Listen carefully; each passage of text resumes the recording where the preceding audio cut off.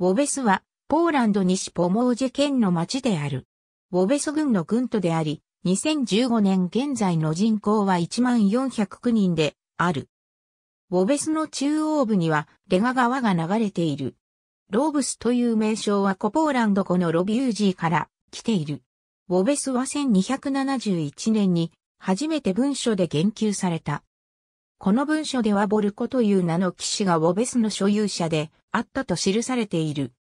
1295年、ウォベスは都市としての権利を受け取った。1945年以前は、この地域はドイツの一部であった。第二次世界大戦後、この地域はソビエト連邦によって要求された領土の変更の下で、ポツダム協定によってポーランドの統治下に置かれた。